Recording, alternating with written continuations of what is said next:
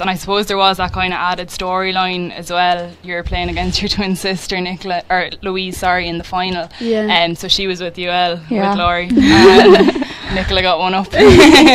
Yeah, um, look, I suppose we kind of knew that it might happen at some stage. Um, that wasn't the way we had planned. We both planned to go to the same college, but that was just the way it worked out. Yeah, and I suppose, look, on the day there had to be a winner and a loser, and that's just the way it is. And thankfully it was me, but look, she got hers last year, so we both won each now, so uh, we're happy out. Of course, and there's that brilliant picture of you afterwards, and I suppose it must have been tough, kind of for the family, like you're kind of split emotions. I know. Um, well, Dad is a pure UL diehard fan, anyways. Mum would be feeling sorry for me sometimes, so she kind of sticks by my side.